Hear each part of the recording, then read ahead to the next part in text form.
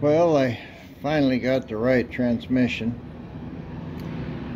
This thing set out, it was inside, but it set for a goodly number of years. These splines are a little rusty, but I freed it up pretty easy. Uh, I've got it sitting on this roller. It's not that heavy, but I'm not that strong anymore. So I'm just going to try to try to jack up the roller and block and everything all at once. If I can just get it up high enough to, to get it onto that frame. I've got a ratchet strap there I'm just going to wrap around the body and I'll just set the the pan there on the on the cross member. I'm going to have to move that bottom cross member forward about six or seven inches. Looks like they had the motor way back. Um, anyway here's my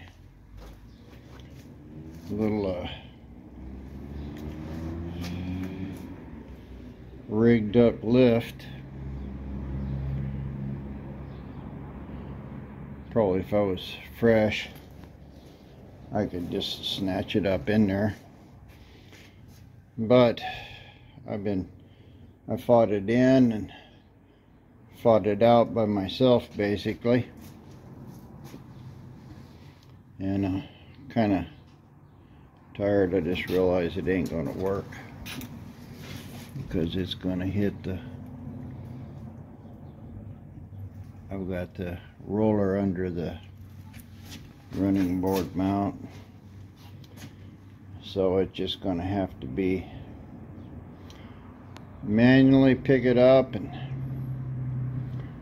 drag it in. I might put a ratchet strap around the top there take a little weight out. I think that's what I'll do. And just physically hog it in. Yeah that wasn't too bad I got the edge up on the frame and that held it and then uh, I was able to loosen this one ratchet strap pulling it in so it's sitting right now, it's being supported there by that middle bar and also the, the cross brace going on the pan. I thought it might go down to the tailpiece. But that's it. The weight of the transmission's all on the car. My uh, tie rod ends are still not straight, but uh,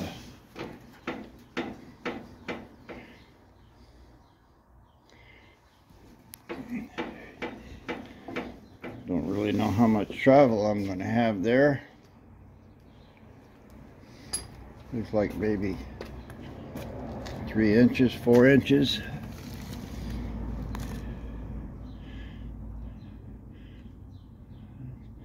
It's probably going to take an inch to get them uh, tie rods parallel. And uh, I probably got four inches travel in it altogether. I think that's more than enough.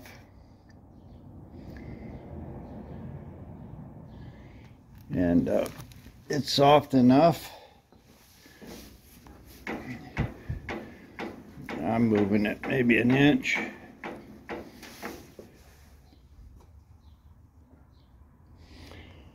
But uh, course I got a torque converter and radiator and a whole bunch of other stuff that goes in here that's fairly heavy.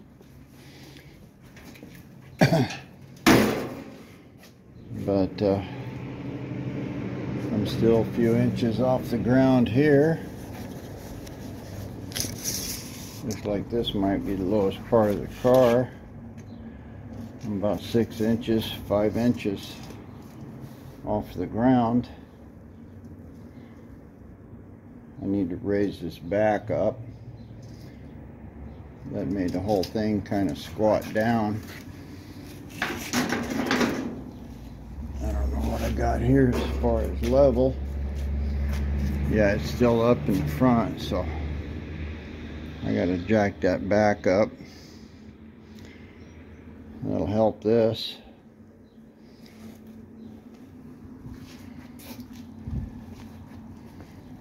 But at least I'm not going to have to do major work to the front, which is pretty good. I'm going to have to get this thing down and forward quite a bit.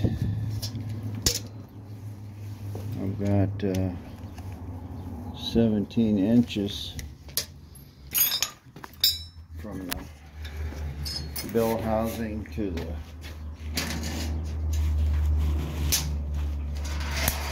the uh, motor to the bell housing 17 inches. And I got uh, about 20 inches here.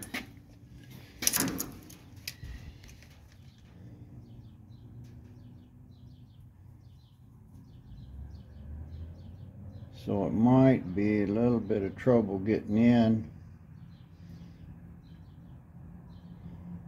Probably not I have to take this lower cross member out. If this moves forward 17 inches yeah this cross member here where it's at now is you know towards the back of the pan it's going to have to go in the front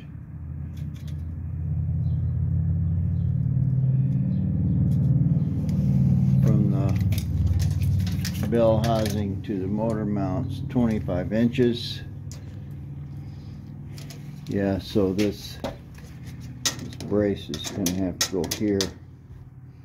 I'm going to have to move this uh, bottom transmission mount forward five inches. It's probably pretty low too. I've got uh, looks like six inches clearance.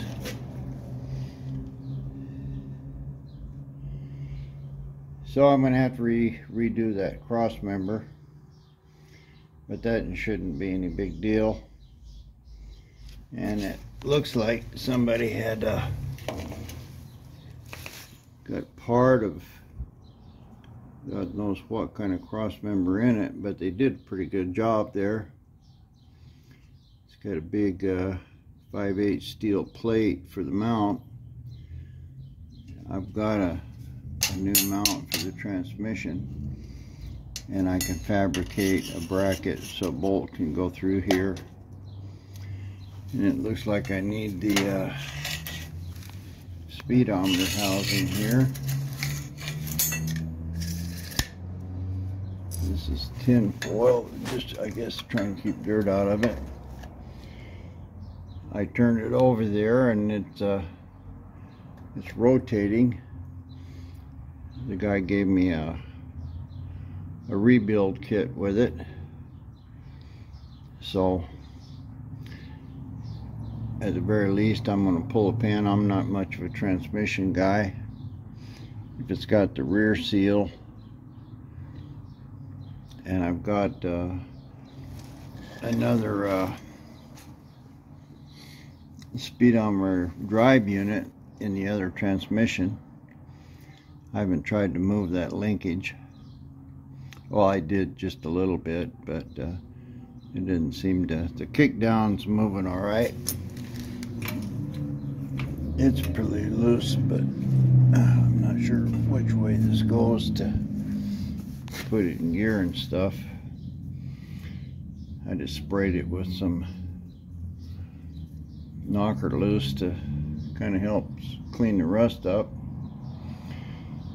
But anyway, after getting scammed out 850 bucks and you know I don't know how many hours I looked on the internet for right transmission 20 hours at least so now I got the zero balance converter This transmission, I think he said was a 75. This is a 77 motor. They're real close. So now I can uh, clean up all this stuff. Tried to do what I can to that transmission. Put it in. Yeah, the car's uh, kind of bouncing around just by me stepping on it. So I think we're good here. Time I get this all sorted out, raised up two or three inches, no shocks in it. Get the right tires on the front. I think that's probably my next uh, next to-do list. Get the right size tires on it. These are temporary trailer spares or something. I've got some pretty nice wheels. I get a couple tires that are approximately the right size make sure my brake calipers are going to fit throw two more tires on this thing. And uh, then we can move on with all the rest of the tremendous amount of work that's got to go into it. Well I'm trying to put this transmission in. Uh, took out the old cross member. And I had to let the motor down is sitting on that six inch block of wood there. I uh, cut me one stud. I was able to get it into the bell housing. I used uh, a, a jack there on that side, jack the pan up. So there's no way that this, uh, and it chipped my paint already. I figured that. So, got to have the motor pointed down quite a bit in order for that uh, tailpiece to clear that cross brace. Anyway, I got the transmission on. I got one bolt over there that I can suck it up with. And uh, I'll get this pulled in a little closer. And uh, and I'll get uh, get it bolted down pretty tight. The way it is now I don't really have any room there. I might have to cut this cross member build a build something in there. I mean, it's really going to be difficult to get this transmission in and out. I'm going to have to I mean, it's okay here when I'm you know, not got anything in the way, nothing's bolted down, motor mounts are loose but I think that uh, we'll see. I'll get this pulled in here and snugged up and we'll see what we got. Well, that all got sorted out. I've got the uh, the engine in, of course, and uh, this is right on zero, which means that the transmission is three and a half degrees. And uh, I did some measuring here on the, the thing this cross member is not going to work. I got to cut an inch out of the top of it, and that's going to, it just be easier to make a another cross member but to the center of the transmission is about, oh, I'd say, you know, 11 and a half inches. And the center of this is 11 and a half inches. So this is going to have to go down because that rear end's going to be rotated a little bit. So this means that this U joint will be broken pointing up, this U joint will be broken pointing down. That's ideal. And uh, I've got that one inch bar in there. The top of my uh, transmission it's going to be one inch below the original cross member so I don't have to cut anything out of there. Uh, and uh, this is all going to be good. I got one bolt started a little cross threaded I'm going to have to redo the rethread that that block. I've got a couple bad ones in it. But uh, should have done that before I put all this in. I didn't. But anyway the transmission's in and uh, it's gonna it's gonna work with these tires. If I couldn't get this uh, low enough um, I would have had to change the tires to lower the, the rear end. But I don't have to do that. So the tires will work I still got an inch here to play with. I can of course jack it up a little bit. How far I am in center. My mounts are pretty good so I'm pretty close to center. And uh, at this point my uh, vertical alignment is all I'm really concerned about so I know that uh, my vertical alignment's good. So now I can kind of jack the whole thing up jack the, the rear up put it all on jack stands go about making uh, brackets for these uh, torsion bars and make them finalize where that brace is going to go on a frame I mean on the axle. I can weld this rear end all up. So this was a whole lot of work just to get it to where I know it's going to fit. But we're all good. Like and subscribe guys. We'll keep pressing on well I fought with this all day yesterday when I was trying to cut that quarter inch piece I burned up my plasma cutter this uh, big old chunk of stuff was in the middle of that cross member so back to the old tried and true cutoff disc. I got it out. But uh, I was less than four inches off the ground. Time I got that in with the old brackets. Uh, I tried several different ways of putting angle iron on there and thought about putting a one inch bar across it. The problem is all of it.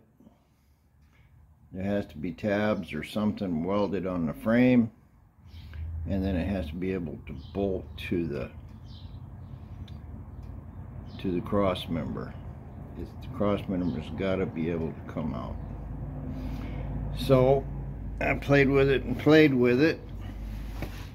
Right now I had uh,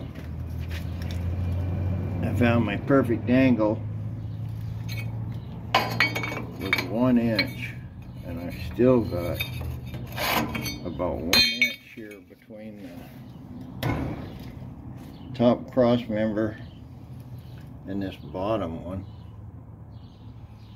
Of course I got the bottom cut out there. I hope you can see that. I can weld a plate across that. But right now,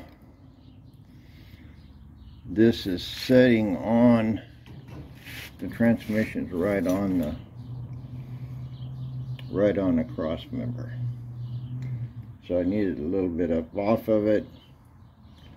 I'll probably take a eighth of an inch plate maybe a quarter of an inch plate space it up and then all I have to do is get something uh, plate like that. You know, that's where the, the hole in this thing is.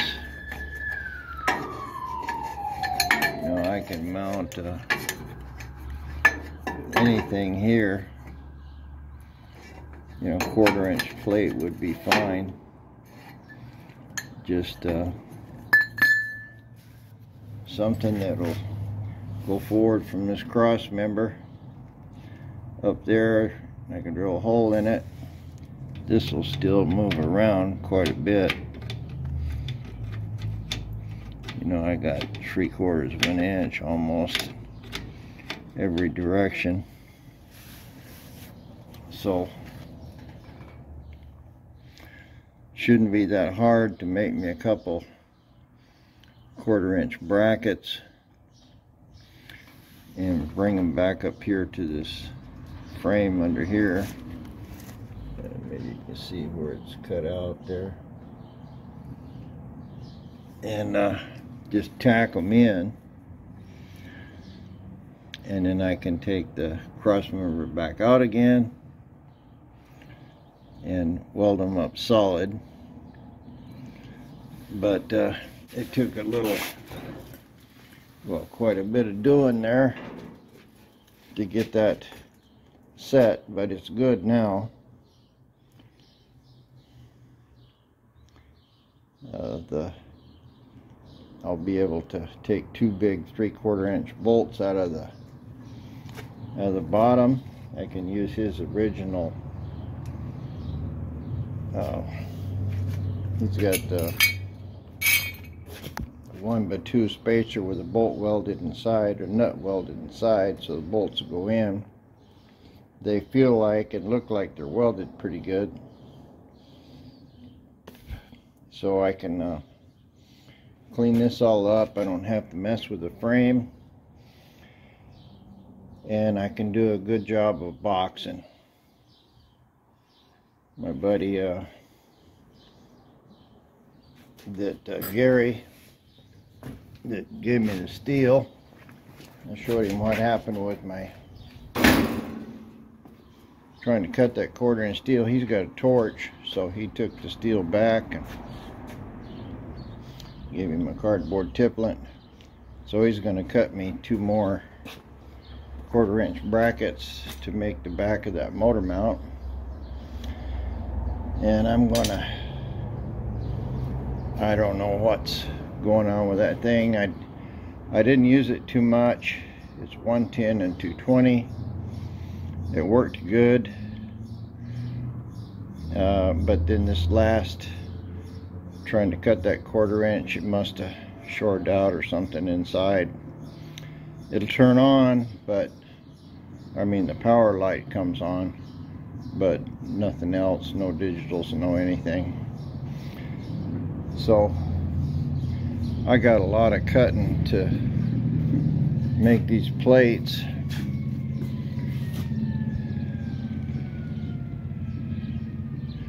You know, I got to box it all the way to the back. And I've got, uh, I got enough of this uh, 16 gauge, 14 gauge to do this enough to do one side and uh, Gary will bring me another another piece. If it's not quite wide enough someplace I can beat that out flat. But that's wider than the frame. So I'll have enough steel to box it all the way. But uh, I'm telling you cutting 10 or 15 feet of well it's going to be about 20 feet of two cuts so we're looking at 40 feet of cutting with grinder wheels. that takes a long time, especially when you can knock it out pretty fast with plasma cutter. So I'm going to bite the bullet, just buy another cutter. It'll get here in a few days. And I can make a good job. I got plenty of stuff that I don't need a plasma cutter for right now. now I got to make that mount. I got to fabricate those uh, control arms back there.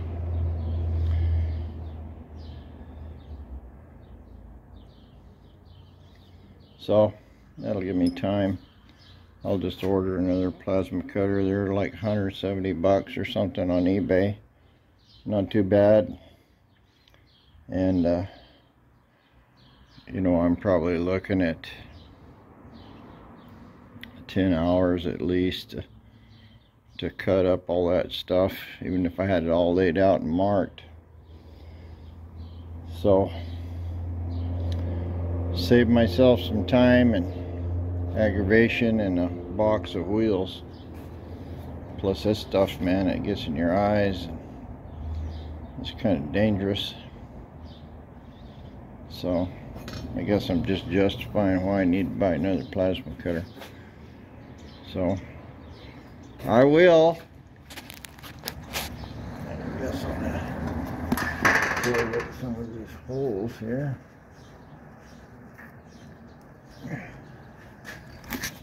grinding stuff and doing that transmission no good. Anyway that uh, looks a lot better with the thing flipped upside down. I think I'll be fine. And uh, obviously it cleared my uh, solved my clearance in the middle problem and I can still get it in and out it's funny you know you work half a day on something just thinking and these will be the probably I was going to use those brackets to make the transmission mount. These are the front ones. But I don't think I'll need to do that. I think I just uh, run one long piece up there uh, I might I think I'll run a one inch piece and